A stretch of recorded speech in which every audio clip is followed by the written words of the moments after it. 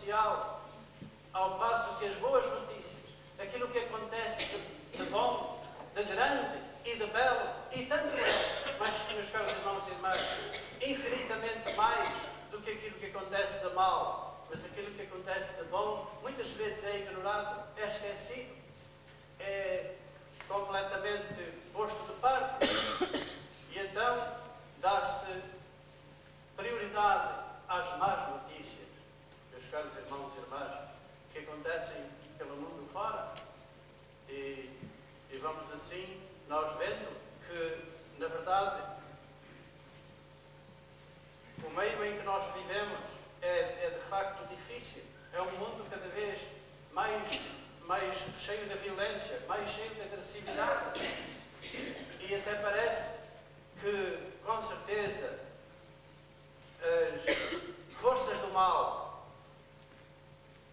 têm mais ousadia, têm mais, são mais ousadas, são mais agressivas do que as forças do bem e da verdade. Por isso a Igreja, constantemente, mas de uma maneira muito especial, no tempo santo do Advento que antecedeu o Natal, nos põe sob aviso e diz: Estai preparados, estai alerta, estai vigilantes, não vos deixeis surpreender pelo espírito materialista, pagão e secularizado dos nossos tempos. Não vos deixeis seduzir, nem surpreender, nem enganar pelas más notícias que se ouvem constantemente, a toda a hora e em toda a parte. Estai preparado, estai vigilante para saber as boas notícias. E qual é a boa notícia, meus caros irmãos e irmãs? A boa notícia é ver esta igreja cheia de gente. Aquilo que temos diante dos nossos olhos, esta igreja, a esta hora, depois da meia-noite, cheia de gente, e às sete horas, a mesma coisa. Nós dizíamos antigamente que no dia de Natal e até noutras ocasiões era esta a igreja das enchentes, mas agora não temos uma enchente, na noite de Natal temos duas. A grande notícia é a fé do povo de Deus. A fé que é o, é o maior dom, o dom mais precioso que nós recebemos de Deus. E não há riqueza, não há bem neste mundo que se possa comparar ao dom da fé. Por isso, meus caros irmãos e irmãs, saibamos apreciar esse dom. Saibamos fazê-lo aumentar cada vez mais dentro de nós e da nossa alma, porque a fé não é só um tesouro, é também como um organismo vivo. E como todo organismo vivo, se não crescer, se não se desenvolver, acaba por se atrofiar, enfraquecer e morrer. Fatalmente, meus caros irmãos e irmãs, por isso saibamos apreciar cada vez mais este dom da fé. E a fé tem a sua origem nesta grande festa do Natal, no mistério do Natal, que é o mistério da encarnação. Deus conosco. Natal é o Emmanuel. Deus no meio de nós. É Deus feito homem, igual a nós em tudo, exceto no pecado. É Deus que se torna nosso irmão, nosso amigo, companheiro inseparável da nossa vida, que está junto de nós para nos escutar, para nos atender e para nos salvar em todas as situações, mesmo nas mais críticas da nossa vida. Natal é Deus conosco e depois do primeiro Natal que aconteceu há dois mil anos, meus caros irmãos e irmãs, Deus não é mais uma abstração, Deus não pode ser mais uma ideia remota e longínqua. Deus é uma realidade viva, íntima e pessoal a todos e a cada um de nós. Deus conosco, Deus no meio de nós, Deus que se faz, que encarna e que se faz homem, que toma uma forma humana na pessoa adorável de nosso Senhor Jesus Cristo, que é o nosso Rei e o nosso Salvador. Por isso, meus caros irmãos e irmãs, o Natal é com certeza um dos acontecimentos mais importantes, se não o mais importante de toda a história da humanidade. O Natal é sempre uma boa notícia, uma grande novidade. Anuncio-vos uma boa notícia, que será uma grande alegria para todo o povo. Meus caros irmãos e irmãs, o Natal é e há de continuar a ser essa grande notícia, essa grande alegria, grande esperança para toda a humanidade, para os jovens, sentem assim mais jovens e mais felizes, com entusiasmo e com o júbilo que se sente e vive em toda a parte nesta quadra do ano, para as crianças, que se tornam o centro de toda a atenção e de todo o carinho nesta quadra do Natal, para as pessoas adultas e para as pessoas já avançadas em idade, que podem assim reviver aquelas recordações dos seus tempos de, de e de juventude e sentir também a presença do espírito de alegria, de paz e de amor de que nós tanto precisamos na nossa vida, meus caros irmãos e irmãs, em cada Natal que passa na nossa vida, nós sentimos renovar cada vez mais esse espírito de paz, de amor e de alegria. Sejamos todos nós mensageiros dessa paz e dessa alegria e desse amor em toda a parte, a começar pela nossa família, a começar na paróquia, de que nós fazemos parte da comunidade tão bela de Santo António de Câmara, e que este espírito do Natal, que não seja só para estes dias, mas que fique conosco para todo sempre. My dear brothers and sisters, we all need the good news. We all need, we have a vital need of uh, joy, peace and love. And we see so many wrong and confused things going all over the place. And this is why the church is always warning us, be on guard, be prepared, don't let yourselves be misguided by the bad news that go all, go around all the, all the, all everywhere and, and all the time. And the good news is to see this church back, and at seven o'clock tonight, the same thing. The good news is the faith of the people, which is the most beautiful gift that we receive from God, my dear brothers and sisters.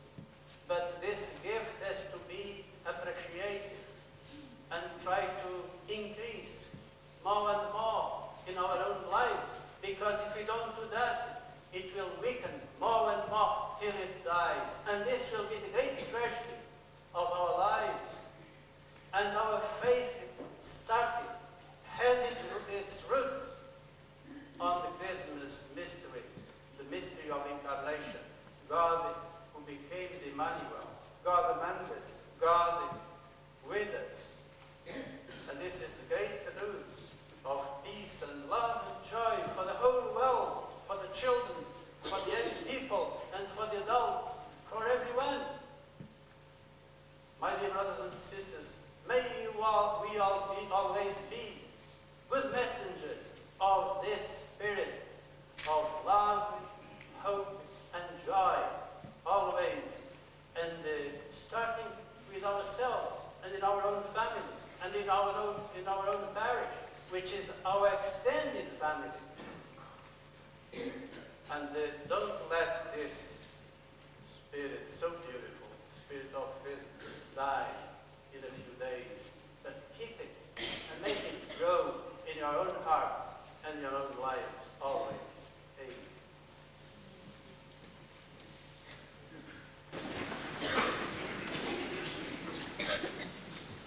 Cremos em um só Deus, Pai Todo-Poderoso, Criador do céu e da terra, de todas as coisas, visíveis e invisíveis.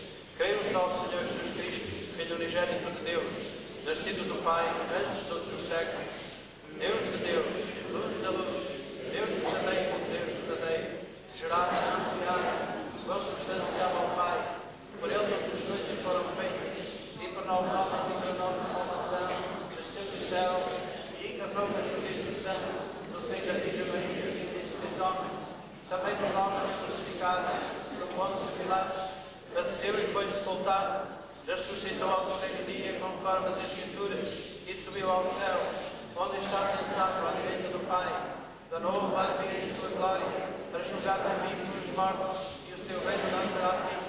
Creio no Espírito Santo, Senhor que dá a vida, e procede do Pai e do Filho, e com o Pai e o Filho é adorado e glorificado.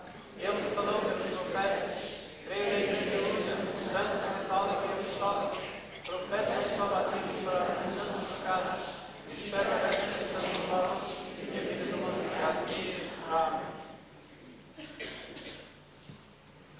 Nesta noite de Natal, elevemos a Deus fervorosamente as nossas preces pela Santa Igreja, pelo mundo inteiro, por cada um de nós.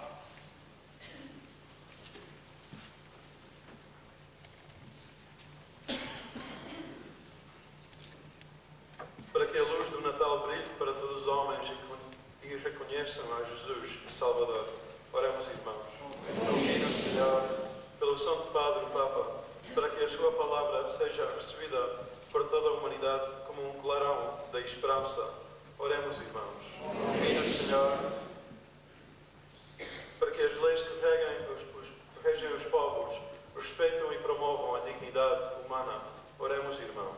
ilumina, Senhor, para que todos os cristãos neste Natal renovem à luz do presépio a dignidade e o seu amor. Oremos, irmãos. ilumina, Senhor, Para que todos abramos o coração às necessidades dos, dos que nos rodeiam. Oremos, irmãos. Para que as almas dos nossos familiares e amigos, ainda no purgatório, possam gozar depressa da visão bem-aventurada. Oremos, irmãos. Pelas nossas intenções pessoais e também pelas intenções e necessidades da nossa família paroquial de Santo António, oremos, irmãos. Para que este espírito do Natal, que é espírito de alegria, de paz e de amor e fraternidade entre todas as pessoas de boa vontade, permaneça sempre conosco. Oremos, irmãos. Senhor nosso Deus, que em Jesus quisestes tornar-nos vossos filhos, atendei os nossos pedidos e fazei-nos crescer no trato filial convosco e dar testemunho da nossa fé em toda a parte onde nos encontrarmos. Por nosso Senhor Jesus Cristo, vosso Filho, na unidade do Espírito Santo. Nos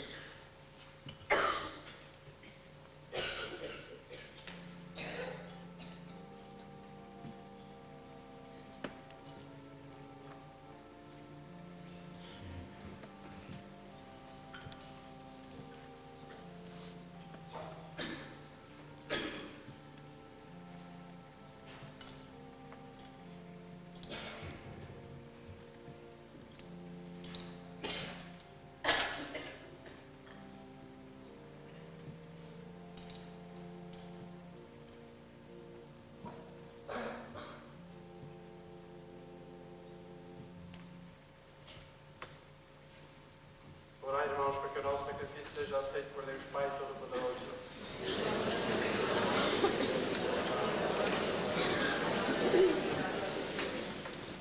Aceitai, Senhor, a nossa relação nesta Santa Noite de Natal e fazer que, na admirável pergunta destes dons, participemos na divindade do vosso Filho, que a vós uniu a nossa natureza humana, Ele que é Deus convosco, na unidade do Espírito Santo. O Senhor esteja convosco. Corações ao alto. Demos graças ao Senhor nosso Deus. Senhor Pai Santo, Deus eterno e omnipotente, é verdadeiramente nosso dever, é nossa salvação, dar-nos graças sempre e em toda a parte, pelo mistério do Verbo encarnado, nova luz da vossa glória brilhou sobre nós, para que, contemplando a Deus visível aos nossos olhos, aprendamos a amar o que é invisível. Por isso, com os anjos, os arcanjos e todos os coros celestes, proclamamos a vossa glória, cantando a uma só voz.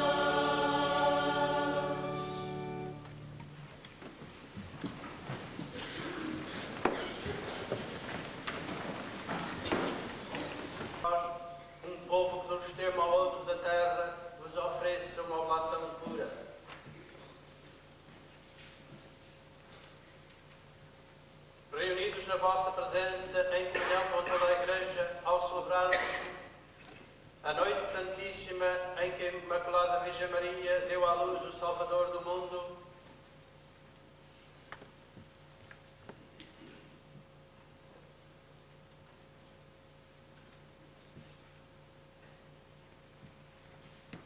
Humildemente vos suplicamos, Senhor, santificai pelo Espírito Santo estes dons que vos apresentamos, para que se convertam no corpo e sangue de nosso Senhor Jesus Cristo, vosso Filho, que nos mandou celebrar estes mistérios.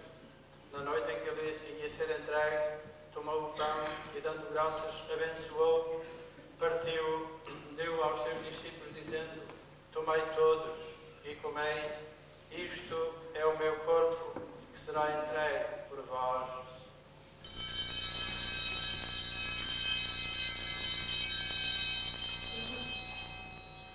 De igual modo, no fim da ceia, tomou o cálice e, dando graças, deu aos seus discípulos, dizendo: Tomai todos e bebei.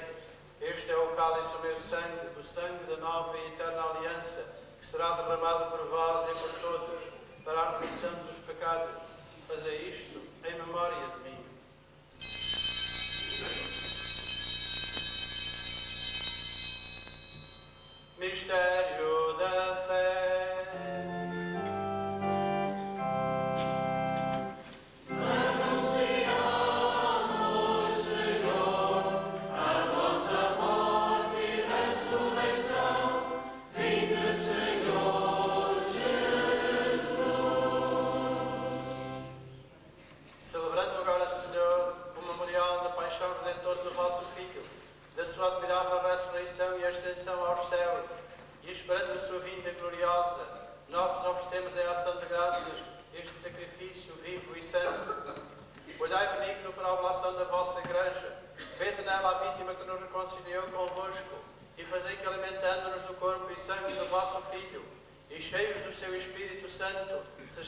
Cristo um só corpo e um só Espírito.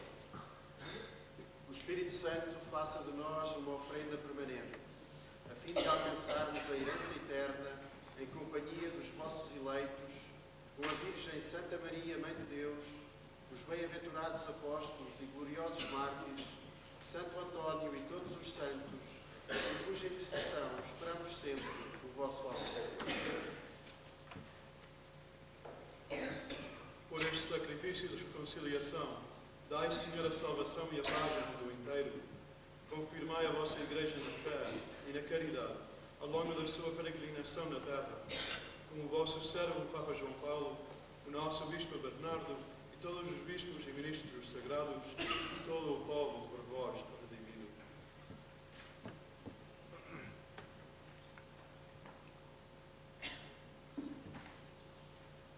Atendei benignamente às preces desta família que vos dignastes reunir na vossa presença. Reconduzi a vós, Pai de misericórdia, todos os vossos filhos dispersos.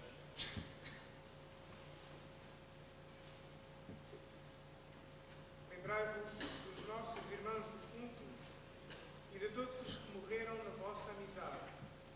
Acolhei-os com bondade no vosso reino, onde também nós esperamos ser recebidos para vivermos